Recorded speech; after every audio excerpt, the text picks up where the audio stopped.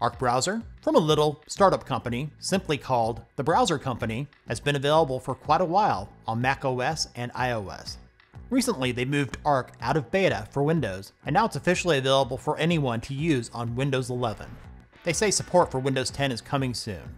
Arc is not trying to be like Chrome or the other browsers. The experience is completely different than the browsers most of us are currently using.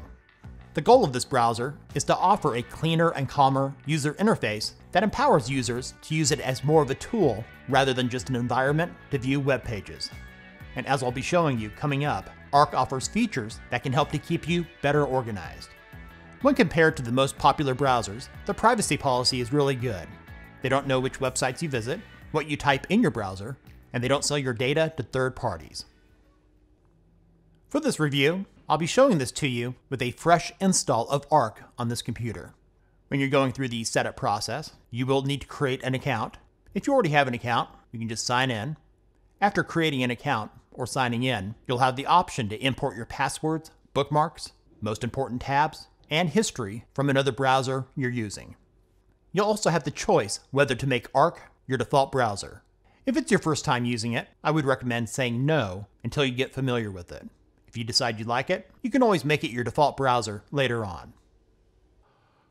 Arc is built on Chromium, so just like other Chromium-based browsers, web pages should load properly, and you'll be able to use your favorite Chrome extensions with it as well.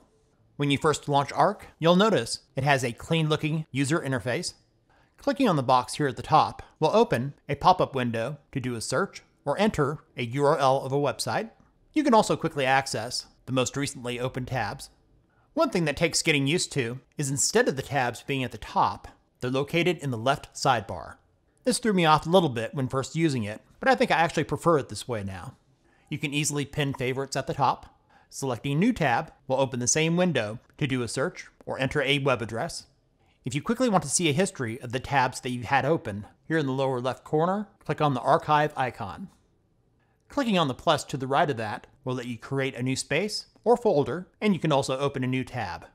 I'll explain those more later on.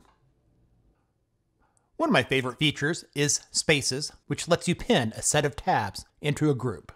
This comes in handy when working on a project or to quickly access a group of tabs that you commonly open for a certain task. To create a space, at the bottom of the sidebar, click the plus and select New Space. Give your space a name. I'll call this one PC Build Sites. You can choose a profile. I'll just leave it on the default. And you can choose a theme, which essentially means that you can give it a color. I'll leave it as it is. And here at the bottom, click on Create Space. And you'll see it here at the top. Down here at the bottom, you'll see two dots. So you'll see doing that, it basically opened a new page for the sidebar. Let's go back to the first one. To add a tab to a space, right click on it, go down to Move To, and select the space. For this, I'll select Pinned. Now do this for the additional tabs that you want in that space.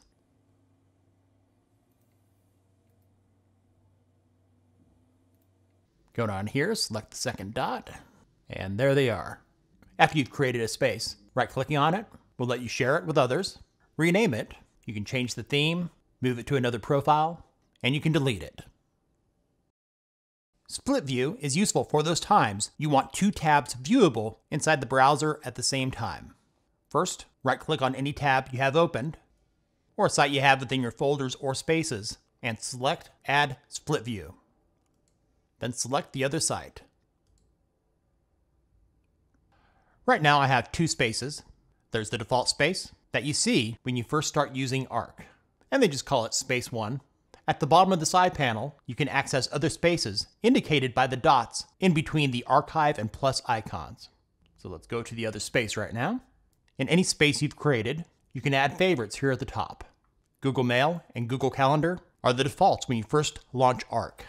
I'll add one of my favorite sites by creating a new tab and going to the website. To add to the favorites, just simply drag that tab up to the favorites and let go. To get rid of a favorite, right click on it and select Remove Favorite. And now it's gone. With any website you have pinned to your spaces or favorites, you can take advantage of their peek feature, which lets you quickly preview links without leaving your current pinned tab. In this example, I have msn.com pinned to space 1, and with this article I have opened, I'll click on a link to preview it.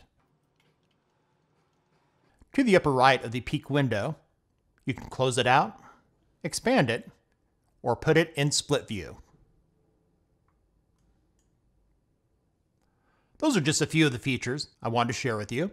As I mentioned earlier, the Arc browser lets you add Chrome extensions to enhance its functionality. To add them, click the Arc icon in the upper left, go to Extensions, and then click Add Extension. This will take you to the Chrome Web Store, where you can find and add any extension you want to the Arc browser. In conclusion, I highly recommend for people to try out the Arc browser. Give it a week or two to get used to it. In truth, it won't be for everyone.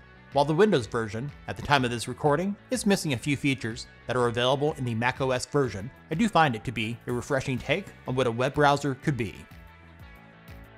Thanks for watching. If this video was useful for you, give it a thumbs up and share it with others. What do you like or don't like about the Arc browser?